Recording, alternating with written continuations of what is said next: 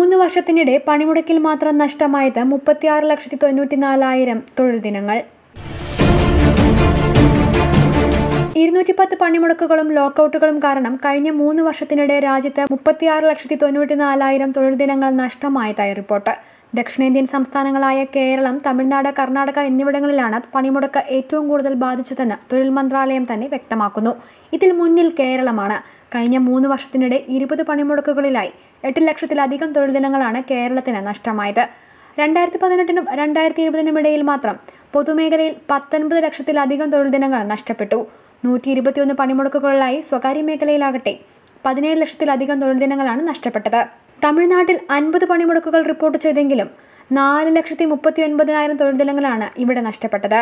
പതിനേഴ് പണിമുടക്കുകളിലായി കർണാടകയിൽ മൂന്ന് ലക്ഷത്തി എഴുപത്തി എണ്ണായിരം തൊഴിൽ ദിനങ്ങളും നഷ്ടമായതായി തൊഴിൽ മന്ത്രാലയത്തിന്റെ റിപ്പോർട്ട് സൂചിപ്പിക്കുന്നു.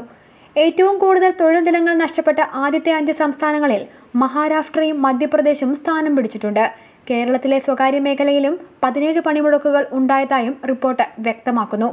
സ്വകാര്യ മേഖലയിൽ ഏഴ് ലക്ഷത്തി അറുപത്തിയേഴായിരം ലക്ഷം തൊഴിൽ ദിനങ്ങളാണ് നഷ്ടപ്പെട്ടത്. കോവിഡിനെ തുടർന്ന് പ്രഖ്യാപിച്ച ലോക്ക്ഡൌണും തൊഴിൽ മേഖലയെ സാരമായി ബാധിച്ചതായാണ് വിലയിരുത്തൽ. പൊതുമേഖലയിൽ ഒരു ലക്ഷത്തി തൊണ്ണൂറ്റി എണ്ണായിരം തൊഴിൽ ദിനങ്ങളും സ്വകാര്യ മേഖലയിൽ എൺപത്തി അയ്യായിരത്തി നാനൂറ്റി എഴുപത്തിയെട്ട് തൊഴിൽ ദിനങ്ങളുമാണ് നഷ്ടപ്പെട്ടത്. News desk I two I news.